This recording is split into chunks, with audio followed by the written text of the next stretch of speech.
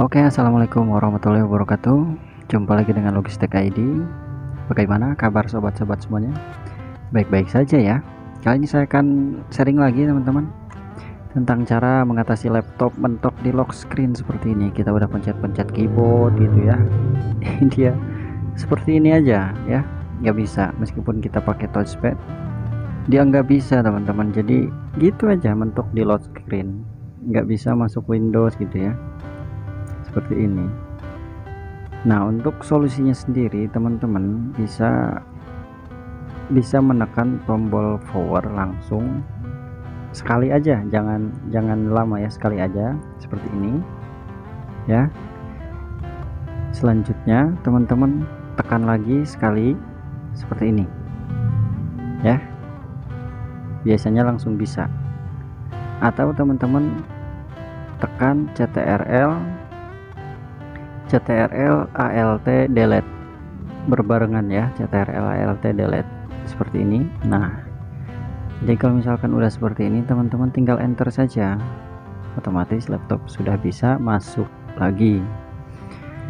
Nah andai kalau misalkan teman-teman pakai CTRL ALT delete nggak bisa. CTRL ALT delete nggak bisa ya solusinya yaitu nggak ada nggak ada cara lain selain kita menahan tombol power. Selain kita menahan tombol power selama 10 detik atau 7 detik nggak apa-apa ya. Untuk apa mas? Untuk mematikan sistem. Untuk memastikan mematikan sistem dengan full. Artinya mematiin paksa. Sebenarnya nggak disarankan ya. Cuma kalau misalkan nggak ada solusi lagi silahkan ditahan tombol power 10 detik ya. Kalau udah silahkan dilepas. Ditunggu dulu beberapa detik juga ya. Ditunggu selama 10 detik. Kalau udah 10 detik silahkan hidupkan lagi laptopnya ya. Nanti macet di lock screennya itu sembuh teman-teman ya. Karena kita restart ulang ya. Untuk saran sih teman-teman eh, apa background lock screennya jangan diaktifkan untuk saran. Kenapa mas? Ya kalau misalkan diaktifkan ya penyakitnya seperti itu. Kalau misalkan lagi normal mal ya nggak apa-apa ya. Cuma kalau misalkan lagi errornya ya seperti itu. Kadang susah gitu macet. Ya begini ya teman-teman cara mengatasinya.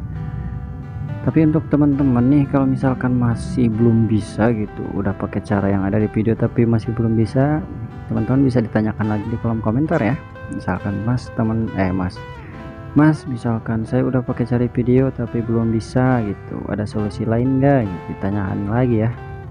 Di akan saya kasih solusi. Oke teman-teman info dan tutorialnya mungkin cukup sampai di sini saja. Terima kasih sudah hadir dan nonton.